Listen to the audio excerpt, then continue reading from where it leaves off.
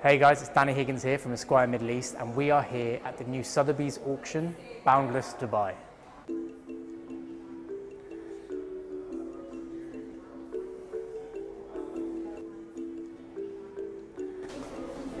Hi Ashkan. Hi, Thank how so are much for you? meeting us Thank today. you for coming. So please, can you just tell me a little bit about yourself and Boundless Dubai here? Yes, uh, so my name is Ashkan Baghestani. I'm the head of sale and expert for Middle Eastern art.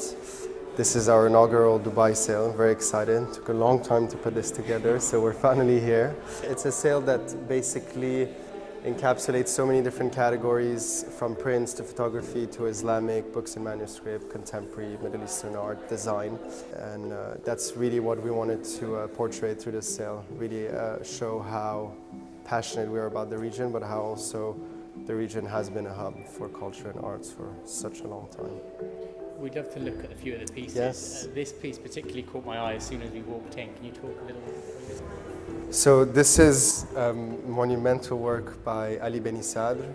He grew up in Iran being heavily inspired by a few elements, uh, old master paintings, Persian miniatures, and uh, war, the atrocity and the intensity of the war. And this is quite a rare piece, I feel, because it's very explosive, it's very colorful.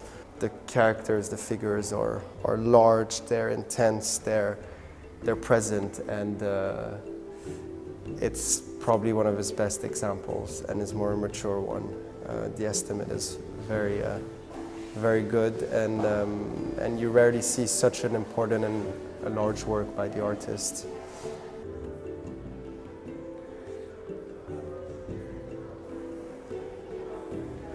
One of our other highlights, an international artist, Jean Dubuffet, French origin, where after the you know, collapse of Europe after the Second World War and the destruction of the cities, and uh, it was very, very unbearable for a lot of artists to be there. So he just packed his bags and went to the Sahara Desert, traveled to North Africa. And there he met with the local tribes, the Berber tribes and the local Bedouin tribes, and he painted only on paper because he painted them on the spot. These beautiful, and this is a very brut style, um, that's very uh, typical of Dubuffet. These palm trees, Bedouin camels, and this very bright sunlight. And what's quite fascinating for that period uh, is that a lot of the artists were stunned by the intensity of the sun and the light, how the light was different. And you see that in a lot of uh, Dubuffet's painting. So this is a great piece, very well estimated. He's a key museum artist. I mean, most of the big museums in the world have a work by Dubuffet. And this is a rare series because he hasn't painted that many of them. Beautiful. Mm, it's very nice.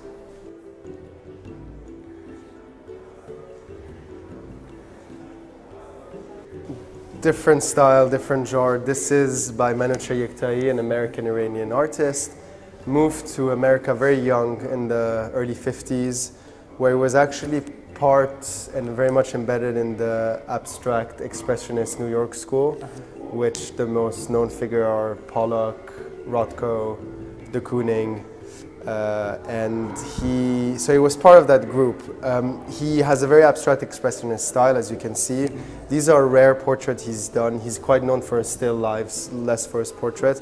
This is a portrait of an ambassador's wife. And uh, what's great about Yektai's works is the heavy impasto on the work, uh, the paint. Impasto is uh, layers and layers and layers of paint which create a lot of three-dimensionality to a piece.